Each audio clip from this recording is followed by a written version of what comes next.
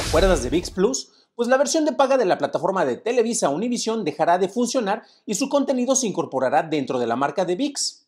De acuerdo con el CEO de la compañía, Wade Davis, los resultados iniciales reportaron que el público se confundía al tener ambas marcas. Y mientras que los ingresos generados por la plataforma crecieron en un 6%, llegaron a los 1.100 millones de dólares, pues el crecimiento en publicidad en Estados Unidos solo aumentó en un 2%, pero esto que crees representaba un total de 432 millones de dólares en el último trimestre.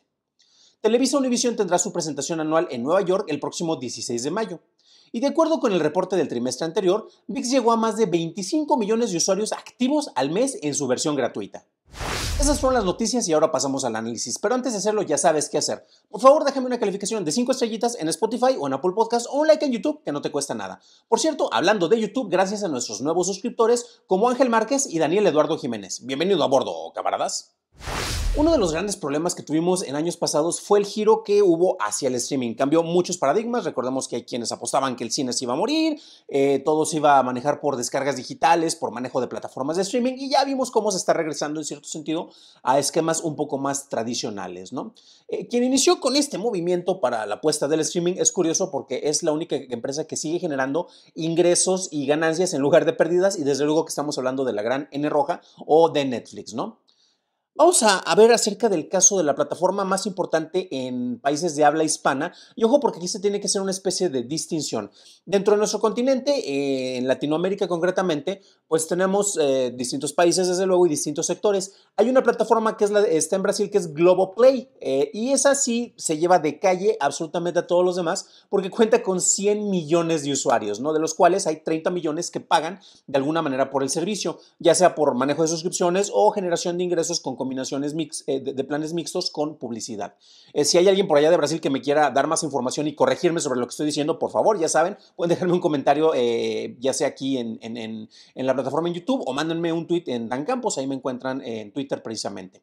Pero bueno, en países de habla hispana, VIX es la plataforma más importante, son los que hablaban que tenemos nombre, más de 50 mil o era más de 500 mil millones de, horas de contenido. Bueno, el punto es que tenían el catálogo más importante en los países de habla hispana desde luego que se lleva de calle también a lo que se está ofreciendo en, España, porque se produce mucho contenido y este contenido es consumido no únicamente en México, no únicamente en este continente, sino que, bueno, también llega a otros lados, ¿no? Y en Estados Unidos, que es parte del mismo continente, pero es otro sector, pues también hay mucho, eh, mucho compañero, eh, mucho migrante que precisamente ve estos servicios, ¿no?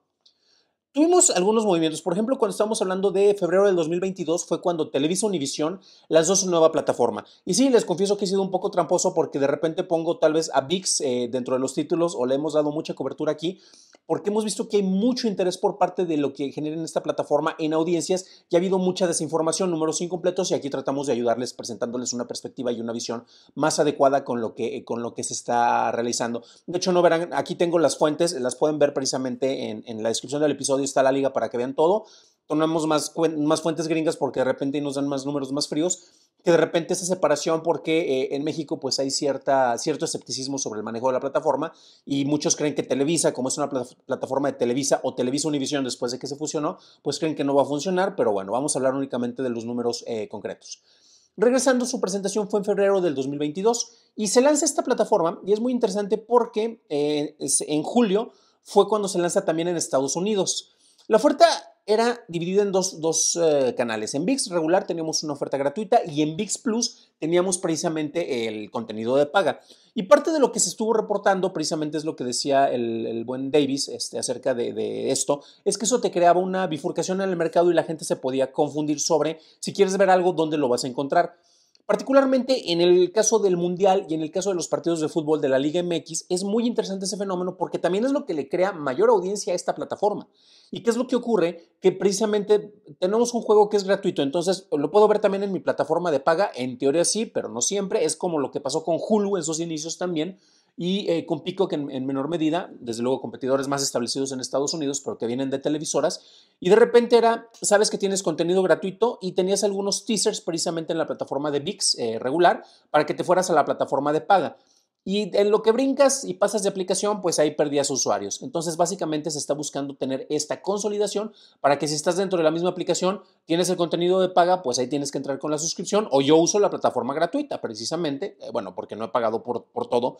Este, eventualmente tendré que sacar aunque sea un mes para ver bien la experiencia eh, y precisamente pues yo ahí he estado consultando contenido, entonces ya no necesitaría ver la versión de VIX de, Plus, pero sí me pasaba lo mismo de que, ah, quiero ver un episodio gratuito, aquí lo tengo, quiero ver el segundo episodio y de repente pues ya me, me decía, tienes que instalar otra aplicación.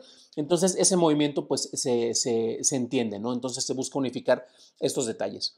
Lo mencionaba previamente, los detractores de Televisa van a decir que no saben preparar contenido y son los mismos detractores los que no saben que han hecho varias de las mejores series que tú puedes encontrar en plataformas como en Prime Video. Un extraño enemigo, gran calidad de producción. Muchos dicen que ni parece de Televisa, pero sorpresa, es el tipo de calidad de producción que ellos ofrecen y que pues también han estado vendiendo a otros distribuidores, ¿no? Ahora bien, vamos a hablar concretamente sobre si podemos catalogar concretamente a VIX como un éxito o como un fracaso y es que la realidad es más, es más mixta, estamos más dentro de los grises y no tenemos como de que ha sido un tremendo éxito o ya se debería de morir, ahora sí que para qué nací esta plataforma, ¿no? Y vemos algunos de los números y vemos que hay cuestiones que son positivas, pero se siguen reportando pérdidas. Y ojo porque eso ha pasado con prácticamente todas las plataformas de streaming, ellos no son los primeros y desde luego no serán los únicos, ¿no? Tenemos también ahorita un periodo de consolidación y por ejemplo, Lionsgate, que antes era Stars con una Z al final, eh, Play, pues eh, pasa a incorporarse dentro de los paquetes de combo que te ofrecen con Disney, Disney Plus, con Star Plus, Star pero sin la Z, y Stars Plus, ahora conocido como Lionsgate, están consolidados dentro de una mega oferta que te sale como en, no sé, 500, 600 pesos. Tenemos que, por ejemplo, Paramount y este Showtime ya están fusionados. En el resto del mundo usualmente eh, veías el contenido en Paramount Plus, pero en Estados Unidos pues ya se están consolidando precisamente dentro de una sola plataforma. HBO eh, Max, eh, que ahora se va a llamar Max, tiene la oferta más interesante porque van a incorporar contenido de la desaparecida plataforma de CNN Plus y eh, van a incorporar contenido de ese desechable de televisión de confort de Discovery dentro de Max. Entonces es interesante porque no van a aumentar el precio a diferencia de los otros competidores, sino que te lo van a seguir ofreciendo hasta el momento con el mismo costo de la suscripción. Eh, eso es interesante también porque en el caso de VIX es la primera plataforma que en vez de agregarle un plus o la versión más, se lo están quitando para evitar esta confusión. Entonces, en eso sí le ganaron a otras plataformas, ¿no? Vamos a ver algunos de los números y ya se nos habíamos mencionado cómo queda parada la oferta de Televisión Univisión y los ingresos, ¿no? Sus ganancias aumentaron en el último reporte en un 6%. Eso se refiere a 1.100 millones de dólares en el último trimestre. Los ingresos en publicidad aumentaron en un 16% y con eso llegamos a un 607.4 millones de dólares. Y en Estados Unidos este número es el más importante y más fascinante para mí. Solo tuvieron un crecimiento del 2%. Un crecimiento del 2% puede sonar a un absoluto fracaso, pero ¿qué está ocurriendo?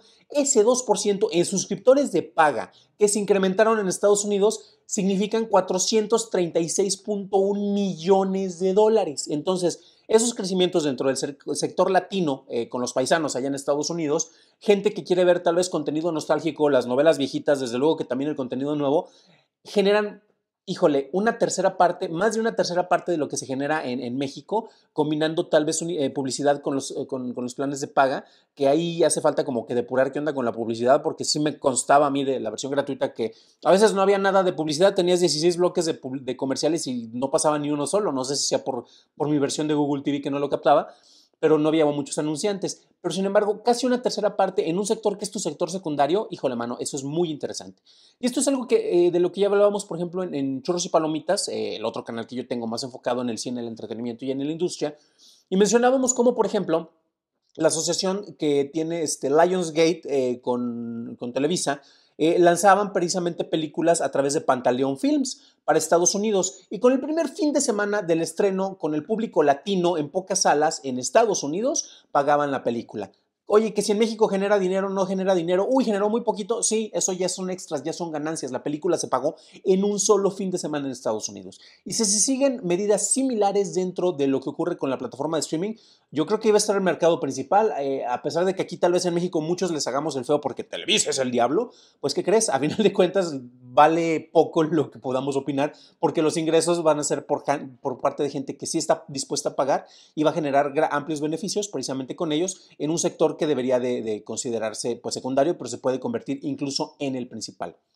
Comparando números de suscriptores no tenemos números muy claros. Ahorita las empresas sabemos que están mezclando, quieren presentar números positivos. Eh, hablamos de más de 25 millones de usuarios activos, pero esos no son suscriptores todos de paga.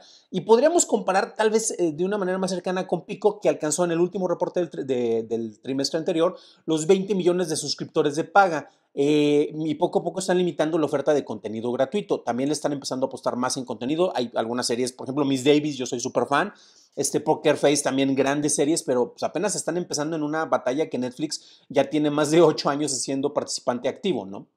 Pero bueno, mientras que los números de suscriptores en VIX están lejanos a los de Netflix, es una comparación completamente injusta, la comparación eh, pues eh, más cercana era, por ejemplo, como lo mencionaba con VIX, y si el público mexicano supuestamente es más sofisticado y está menospreciando lo que ocurre con esta plataforma, eh, pues honestamente debería tener una especie de ajuste porque podrán decir que no la ven, pero si hay un juego de fútbol que les interese, ¿qué crees? Van a acudir a esta plataforma, ¿no?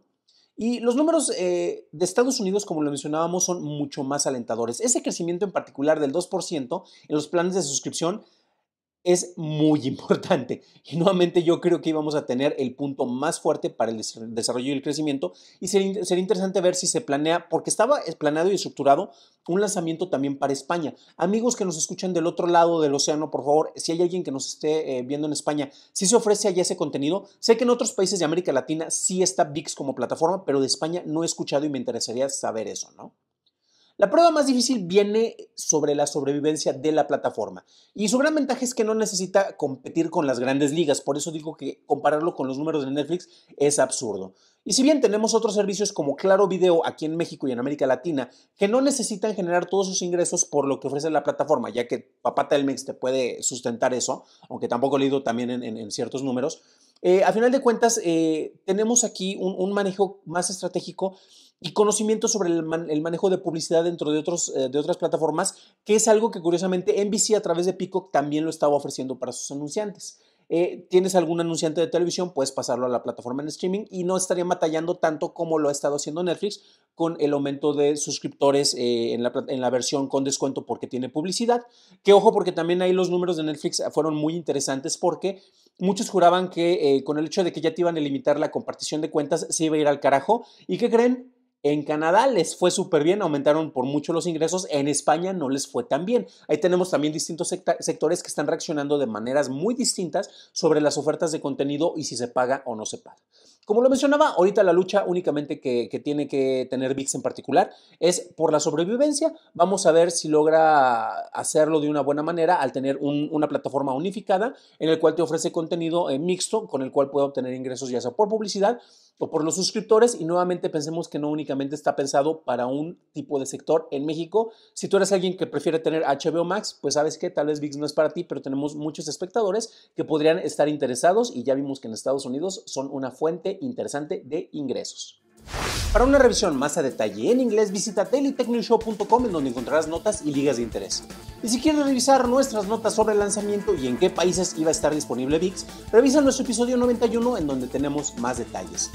Eso es todo por hoy, gracias por tu atención y nos estaremos escuchando en el siguiente programa. Deseo que tengas un fantástico fin de semana.